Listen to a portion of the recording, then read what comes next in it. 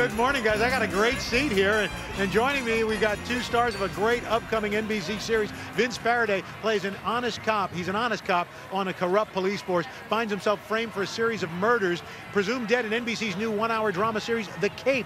Joining us, the stars of the show, David Lyons and Summer Glau. So, guys, welcome to the Thanksgiving Day Parade. Thanks for having us. Yeah. So, so, David, this is every kid's fantasy. You get to play a superhero.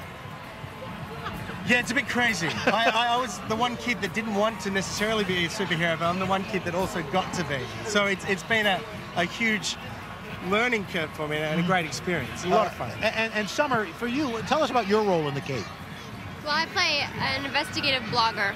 An investigative blogger. That's how times have changed. You would have been a reporter 10 years ago. exactly, but I do go undercover and play a reporter. Ah. Sometimes. Mm, and, yeah, and is, are there, uh, now can you give me a hint? Are there any sparks between uh, the Cape and yourself? There, there really can't be. I'm, I'm a married man, and my, ah. my, entire journey is to get back to my family.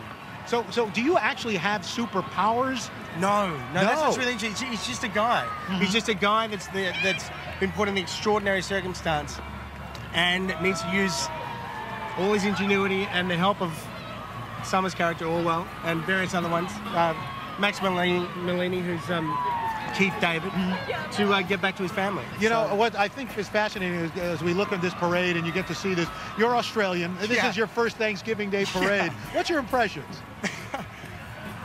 um, you Americans know how to throw a party. yeah! this back in Australia, but I think that we should.